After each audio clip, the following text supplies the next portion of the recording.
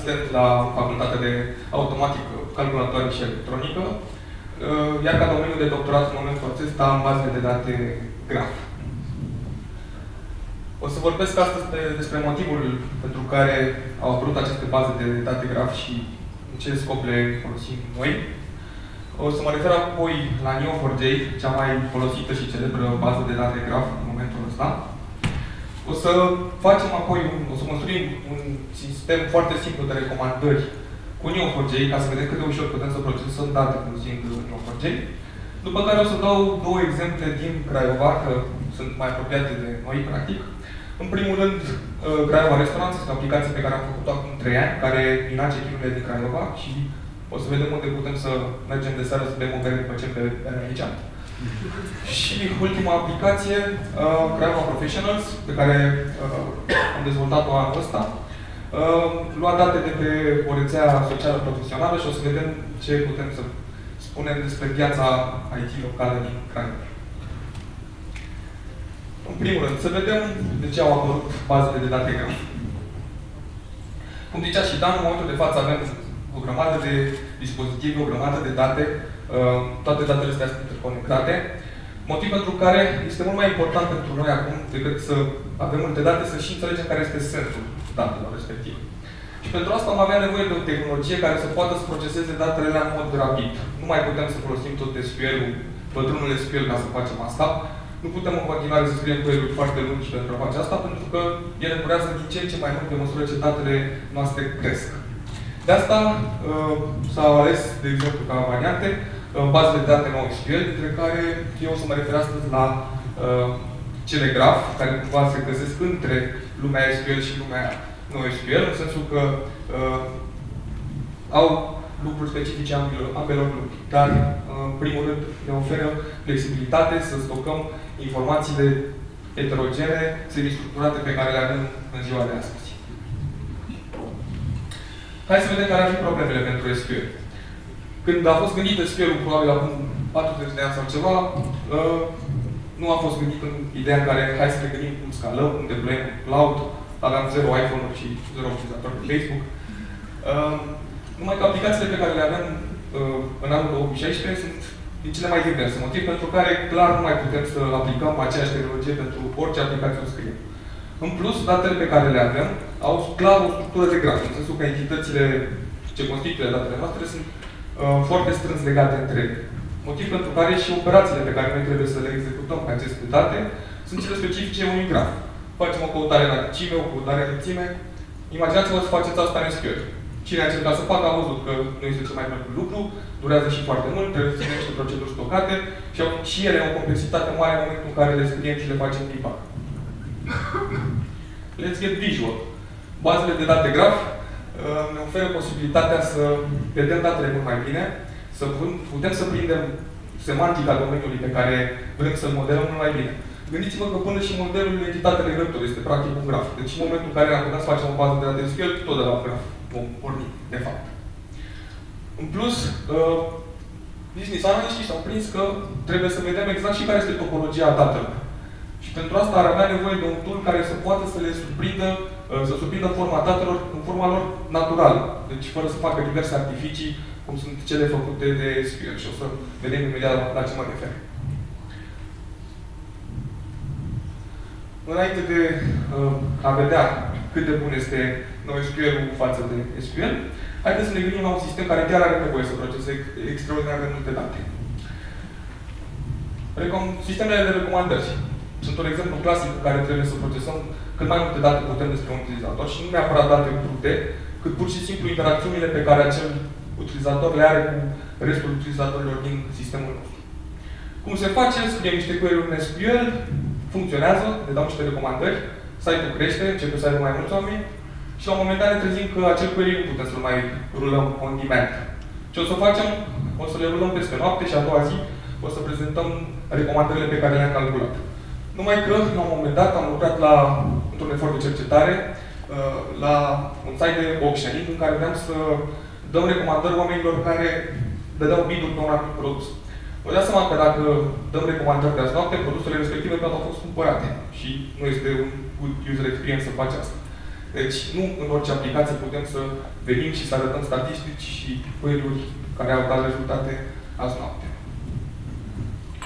În plus, acum majoritatea interacțiunilor care se întâmplă între companii și clienți sau potențial clienți au loc pe Facebook. Like-uri, share-uri, o grămadă de date semi-structurate, toate în același loc, toate care vin extraordinar de repede și care trebuie procesate. Multitudinea asta de date ne permite să facem recomandări extrem de precise, cu condiția să reușim să le procesăm cât mai rapid. De, acesta, de aceea ne trebuie o soluție care să poată să proceseze date și să scaleze pe măsură ce avem date din ce în ce mai mari. O să iau un exemplu cu o simplă bază de date, un milion de utilizatori, fiecare dintre ei are 50 de prieteni. Și o să vedem cum modelăm chestia asta într-o soluție SQL și într-un graf. Avem aici clasica tabelă mulți la mulți, în care vrem să facem, să zicem că un utilizator este prieten cu alt utilizator. Vedem că dacă vrem să spunem despre Alice că este prieten cu Davina, trebuie să spunem și despre Davina că este prietenă cu Alice. De ce? Pentru că vrem să folosim index în momentul în care găsim prietenii prietenilor și așa mai departe. Adică dacă avem index, avem complexitate log n, dacă nu avem index, avem complexitate n. În schimb, pe o bază de date graf, relațiile pe care le are fiecare nod sunt efectiv puse pe nodul care are acele relații. Și nu mai avem nevoie de acei index. Ce înseamnă asta, propriu zis?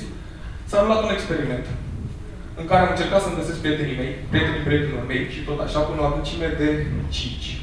Pe aceeași bază de date. Un milion de utilizatori, 50 de prieteni fiecare utilizator. În momentul în care vreau să găsesc prietenii prietenilor, performanța este similară la NoSQL și uh, MySQL. De fapt, NoSQL chiar e ofertă. Uh, în momentul în care începem să mergem cu un nivel mai jos, datorită faptului că suntem nevoiți să realizăm produs cartezian, produs cartezian, produs cartezian, performanța va crește, va scădea exponențial pentru uh, MySQL. În schimb, pentru Neo4j vedem că, uh, într-adevăr, crește un pic timpul, dar crește fix proporțional cu numărul de rezultate pe care le vom returna. Deci, cumva, este mult mai predictibilă creșterea asta. Nu contează cât de multe date avem, timpul va rămâne același dacă suntem tot timpul la adâncime spre deosebire de SQL, dacă începem să creștem, va fi din ce în ce mai complicat. Ideea cu care trebuie să rămânem este că în momentul în care folosim o bază de date NoSQL, performanța rămâne constantă. Când mergem pe MySQL, o soluție SQL, crește data, performanța clar va avea de suferit. Să vedem acum ce înseamnă Neo4j și de ce a reușit să se impună ca un standard pentru bazele de date graf. În primul rând, multe institute de cercetare remarcă deja faptul că multe companii mari experimentează deja sau urmează foarte mult să experimenteze cu soluții graf. Vorbim despre companii Fortune 100, 500, care deja se uită peste soluții graf pentru datele lor. Interesant este și testimoniul ăsta de la eBay, care ne spune că gândiseră diverse recomandări pentru produsele lor, ca ce ziceam și înainte, dar pe care nu puteau, nu și imaginau că ar putea să le ruleze, pentru că durau efectiv prea mult. Până în momentul în care au trecut pe Neo4j. Deci, eBay în momentul ăsta folosește Neo4j pentru recomandări. Codul este de 10-100 de ori mai scurt, mai mic, și recomandările pot fi date în timp util. Un experiment care place mie tot timpul să, la care place mie tot timpul să fac referire, este acela în care, în momentul de față, există teoretic algoritmii pentru a prezice vremea de mâine cu precizie de 100%. Numai că dacă o să luăm algoritmia, o să termine peste două luni. Și nu sunt foarte utili. Ne trebuie o soluție prin care putem ușor să luăm algoritmi complexi care să ne dea și rezultate rapide, eventual real-time. Neo4j are potențialul să facă lucrul ăsta. În primul rând este o bază de date ACID. Deci, vedem deja o chestie care nu este tipică unei baze de date NoSQL în principiu. Scalează, are o paradigmă interesantă de a lua datele din Cypher, limbajul de interogare. O să vedem imediat cum arată Cypher, câteva query Și este open source. Și lucrul cel mai important este o bază de date cu storage nativ graf. Ce înseamnă asta? Relațiile sunt stocate efectiv pe entitatea care are acele relații. Motiv pentru care, în momentul în care traversăm graful, lucrul ăsta se va întâmpla foarte rapid. Alte lucruri interesante, specifice, mai degrabă lumii uh, NoSQL. Uh, putem să deployăm aplicația folosind Docker, în serviciile de cloud de la Amazon. Uh, avem proceduri stocate, la fel cum am avea și la uh, MySQL, de exemplu, pe care le scriem în Java și le punem pe serverul de Neo4j. Iar acum versiunile noi de Neo4j vin cu un protocol binar de comunicare și cu o serie de drivere unificate, prin care se permite să lucrăm și să apelăm Neo4j din orice limbaj de programare sau să scriem noi profil driver și să lucrăm la fel cum am lucrat cu orice bază Adică curva de învățare nu mai este abruptă, putem imediat să învățăm să lucrăm și cu Neo4j. Cypher, uh, pentru cei mai bătrâni care se dau pe mic, poate mai țineți minte desenele naștii, uh, arată așa. În momentul în care vrem să luăm date din Neo4j, efectiv le desenăm. O interogare de tipul ăsta din Cypher îmi va da toate perechile de noduri între care am relația asta de likes. Pur și simplu desenez relația și asta este query pe care îl scriu. Pentru că se mișcă atât de rapid, momentan vine și cu un query plan iterativ, așa ceva de genul ăsta, care la fiecare pas din execuția query îmi spune ce s-a întâmplat, de câte ori a fost lovită baza de date și mă lasă să optimizez query pe care le scriu. Încă un lucru foarte interesant la Cypher este faptul că uh, reușește să mă lase să scriu query mult mai inteligent în sensul că suportă pipeline, la fel cum avem, de exemplu, un Linux. Adică pot să scriu bucățele de query și rezultatele unui query le pot să folosesc în al doilea și tot așa, lăsându-mă să scriu query foarte complexe din bucățele micuțe. Acum, haideți să vedem cam cât de ușor este să facem recomandări folosind Neo4j. Am luat ca și exemplu un aeroport mare, în care avem terminale, porți, locații, în fiecare uh, poartă. O locație are anumite categorie, bar, restaurant italianez, mai știu eu ce. Utilizatori care plac o locație. Avem și ponderi pe relația de likes în uh, Neo4j, în sensul că place o pondere între 1 și 10, să zicem. Avem prieteni, între, deci utilizatorii pot să fie prieteni între ei. O să calculăm apoi distanța dintre doi utilizatori, în sensul că vom vrea să vedem cât de similari sunt doi utilizatori pe care noi avem în baza noastră de date. Și apoi vom duce lucrurile un pic mai departe, vom găsi și clustere de utilizatori din aplicația noastră. Pornim la ceva foarte simplu. Vreau să-mi dai toate locațiile care sunt într-o anumită categorie, la o anumită poartă, într-un anumit terminal, care sunt plăcute de prietenii mei. E genul de chestie pe care deja cam putem să o scriem și în Facebook. Așa arată în Cypher. Pur și simplu, acesta ar fi modelul de date, sunt omise aici categoriile pentru fiecare locație, avem și o relație de prietenie între cele, între cei utilizatori și vedem cum în acest query efectiv sunt desenate lucrurile pe care le cerem bazei de date. Avem o locație care se găsește într-o categorie, locația se găsește la o poartă, poarta este într-un terminal, userul care, să zicem, sunt eu, am pe nu știu cine prieteni, prietenii mei plac o locație. Și pot să returnez toate locațiile pe care le plac prietenii mei, ordonate, de exemplu, după distanța de la poarta la care mă găsesc eu până la poarta unde e locația respectivă. Mai departe, dacă vreau să fac recomandări un pic mai inteligente, pot să mă apuc să găsesc distanțele dintre doi utilizatori. Deci cât de similar sunt doi utilizatori. Pot să folosesc o funcție cu sinus între vectorii care reprezintă cei doi utilizatori, dar aici pur și simplu avem distanța euclidiană dintre vectorii respectivi. Vedeți cât de ușor se face chestia asta în Neo4j cu Cypher. Deci pur și simplu cât mi să scriu uh, să aflu distanța dintre doi utilizatori. Asta îmi permite mai departe să găsesc cei care sunt utilizatorii cei mai apropiați de mine și să iau recomandări în funcție de uh, oamenii care sunt mie foarte apropiați. Acum, dacă fac asta, știți că îmi trebuie ca vectorul respectiv, ca să am vector cât mai multidimensional, trebuie ca amul de utilizator să fi plăcut cât mai multe locuri identice. Așa că ce pot să fac un pic mai deștept decât atât, pot să aplic un algoritm simplu de clustering, k-means, de exemplu, să iau notele medii date pe fiecare categorie, de fiecare dintre utilizatorii pe care eu am în baza mea de date și să găsesc clustere de utilizatori. Iar în momentul în care fac recomandările, când îmi iau utilizatorii a căror note mă interesează, aleg utilizatorii care găsesc în ce cluster sunt eu ca și user, iau alți user care sunt în același cluster ca și mine și locurile pe care le-au plăcut ei. După care pot să iau și uh, nota medie pentru locul plăcut de utilizatorii aia și în momentul în care returnez rezultatele să le am ordonate după distanță ca și înainte, dar și după nota medie primită de la utilizatorii care sunt în același cluster cu și în care sunt și eu.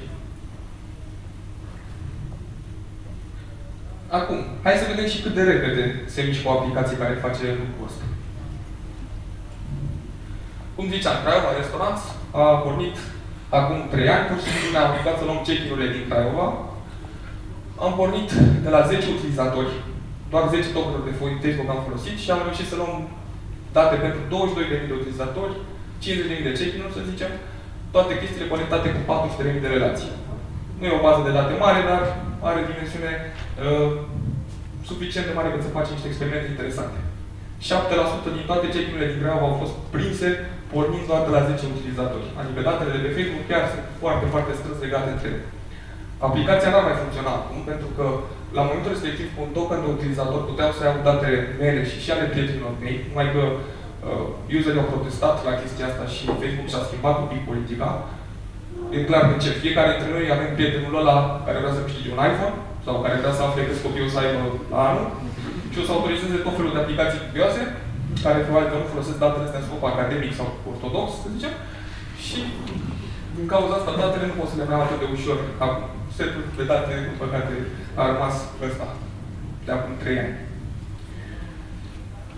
Aici am văzut date de acum 3 ani, care erau cele mai populare locuri pe Craiova, după ce date de utilizatori. Vedem aici distinct, pentru că aveam, să zicem, anomalii, în sensul că erau utilizatori care se deau cu 20 de check în aceeași locație. Dar și voi faceți asta. Uh, uitați-vă la timp. Uh, rulează extrem de repede. Deci asta este pe laptopul meu personal, nu pe un setup, despre care o să vorbesc un pic mai târziu. Deci asta este o simplă statistică, face mare lucru.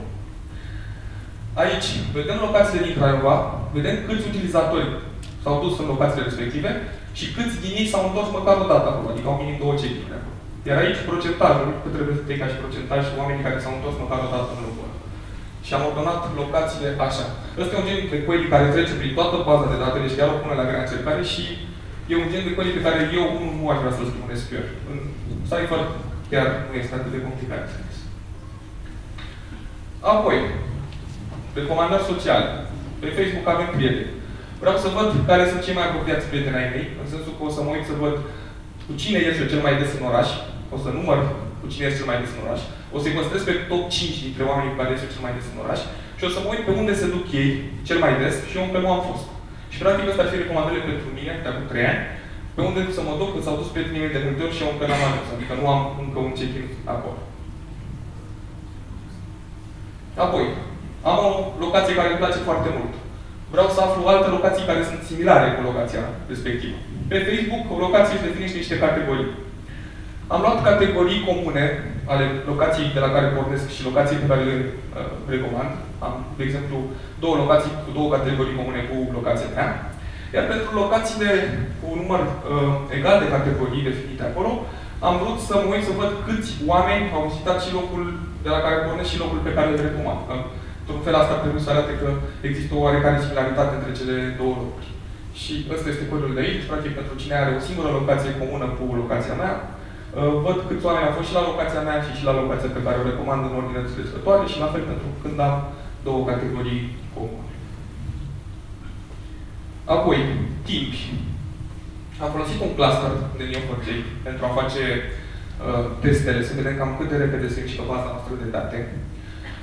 Minam în continuu date de pe Facebook. În fiecare minut luam date cât pentru 1000 de noduri, 4000 de relații și aveam grijă să nu persistăm mult timp de două ori, să nu duplicăm datele din baza noastră de date. Uh, modulul ăsta făcea asta. Aveam o instanță master de Neo4j care rula în aceeași mașină virtuală de Java cu uh, modulul care mina date de pe Facebook. Am făcut asta pentru că vreau ca operația de scriere să fie cât mai rapidă și să lucreze cât mai de aproape aplicația noastră cu baza de date. În față aveam două instanțe slave de Neo4j care um, erau lovite de un load balancer care le lovea în round robin mode, care primea request-uri de recomandări, gen cele pe care le-am văzut înainte, uh, de la user. Și am simulat că aveam vreo 16 treburi care minau în continuu date, cum am zis că pentru 1000 de noturi, 4000 de relații, și 96 de clienți care cereau random o recomandare de la sistemul Datele pe care le-am obținut, uh, timpii pe care le-am obținut sunt aici, sunt milisecunde, deci vedem că nu este o aplicație care făcea chiar atât de multe lucruri, dar vorbim de timp de sub o secundă. Lucru care vă invit să încercați și cu SQL.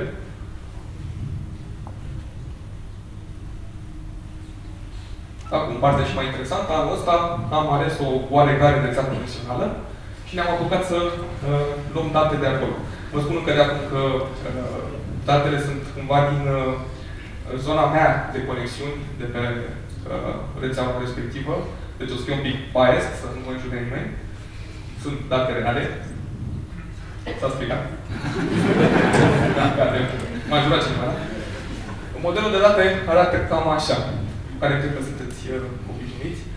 Am un user, lucrează la o anumită companie, are un job la o anumită companie, uh, are un skill pe profilul lui, primește endorsuri pentru un anumit skill de la un utilizator sau uh, dă un endors. Cumva, dacă mai țineți minte, pentru cine a fost anul trecut, uh, Dan ne-a povestit cum arată piața IT din Craiova. Hai să vedem acum ce zice și graful meu despre asta. Uh, am minat 206 profile. Uh, cei 206 oameni aveau 275 de joburi active, pe la nu știu câte companii, vreo 20.000 de endors în total. Vreau să-i mulțumesc studentului nostru Lucian Iordache pentru că ne-a ajutat cu aceste experimente.